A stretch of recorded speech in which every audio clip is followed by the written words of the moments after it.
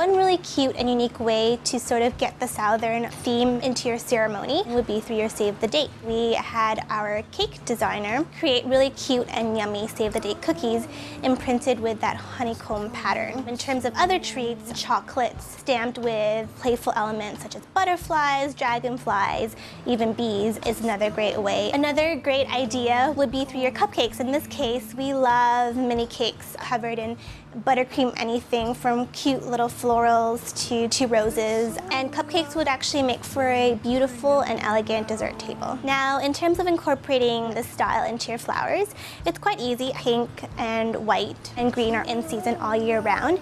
So have your floral designer pair some white roses, tiger lilies, not too many, but a few look beautiful when combined in a bunch. And green hydrangeas look beautiful as well. If you want to incorporate these shades into your boutonnieres, ask your designer to create a one-stemmed posy wrapped in either beige, yellow, or pastel ribbon. As for other elements of your wedding day, your Flower Girl basket is one easy way to get the southern theme into your ceremony. What we've done here is we've just taken the simple basket, filled it with silk petals, which makes for an easier cleanup at your ceremony site. Your stationery is another wonderful way to sort of infuse the Southern style into your celebration. If you are planning for a more formal event, have your designer simply do damask patterns or the chandelier patterns in these shades. If you want to do something more playful, polka dots and stripes are also some fun patterns to sort of use in your wedding day stationery. Another great idea would be to use lace, a great texture and element that's very representative of the South. So infusing lace and fabric into your wedding day stationery such as your table numbers, your centerpieces, or your favors is a great way.